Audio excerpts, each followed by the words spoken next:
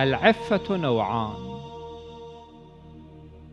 أحيانا واحد يتجنب القبائح لأنه لا يقدر لأنه لا يتمكن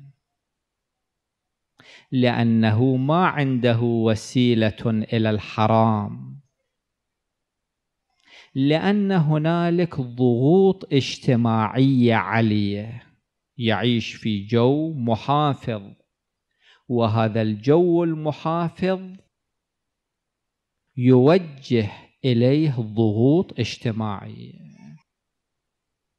هذا النوع الأول. النوع الثاني عفة القدرة. واحد يقدر. الجو مهيأ له. لا توجد هنالك ضغوط اجتماعية. العفة الحقيقية هي عفة القدرة لا عفة العجز.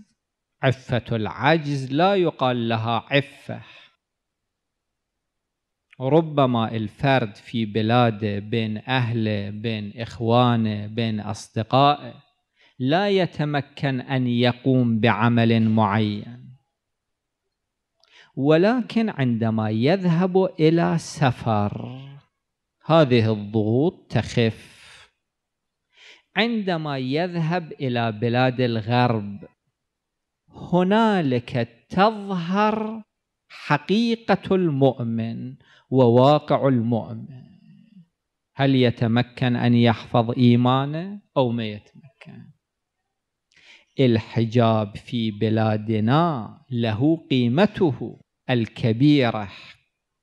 ولكن القيمة الحقيقية للحجاب إنما تظهر عندما واحد يذهب إلى بلاد الغرب أو إلى بلد لا يوجد هنالك أي رقيب وأي حسيب. هنا تظهر حقيقة الإيمان.